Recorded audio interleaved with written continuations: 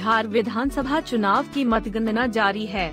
इसी बीच बिहार के मोकामा में आरजेडी की बड़ी जीत हुई है। मोकामा से बाहुबली विधायक अनंत सिंह चुनाव जीत गए हैं। आनंद सिंह पांचवी बार मोकामा विधानसभा क्षेत्र से विधायक बने हैं। वह राष्ट्रीय जनता दल के टिकट से चुनावी मैदान में थे।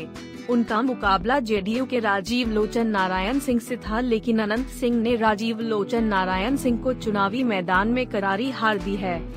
बाहुबली विधायक अनंत कुमार सिंह इससे पहले मोकामा से चुनावी मैदान में निर्दलीय चुनाव लड़ते थे, लेकिन इस बार उन्हें आरजेडी से उम्मीदवार बनाया गया था।